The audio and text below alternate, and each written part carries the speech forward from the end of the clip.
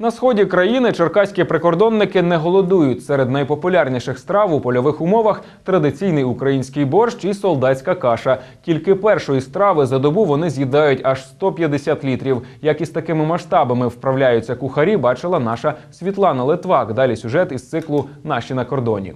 У гарнізоні солдатська муштра, але обід тут за розкладом. Годують прикордонників, як і годиться, тричі на день. Каша польова із тушонкою, з усіма смаколиками.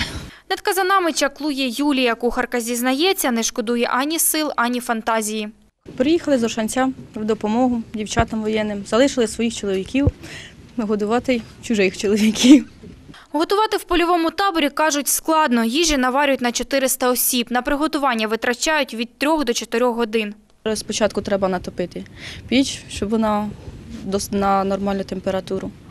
Потім готувати, дивитися, щоб не згоріло, не пригоріло.